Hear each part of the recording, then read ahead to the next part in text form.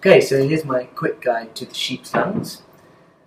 At the top, you can see is the main tube down into the lungs. This is called the trachea or the windpipe.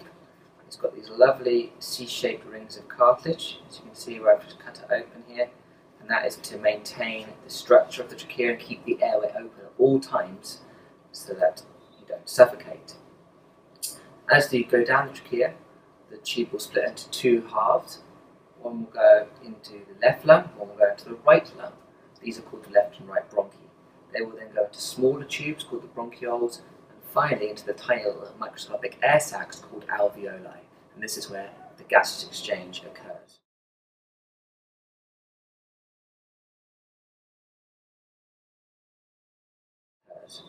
If I hold them up, you can see the different lobes of the lungs coming off, and that will be so that when they inflate, they will fill each space in the thorax. Underneath is the diaphragm. The diaphragm is a very, very thin sheet of muscle and very, very strong, and that will contract and relax in order to help with ventilation, breathing in and out. So strong, I can't even tear it.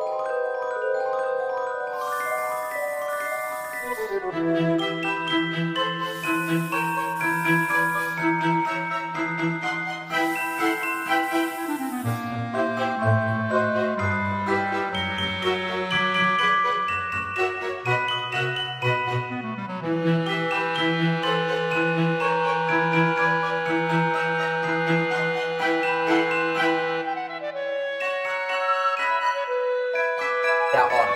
The stomach actually churns the food. Aye.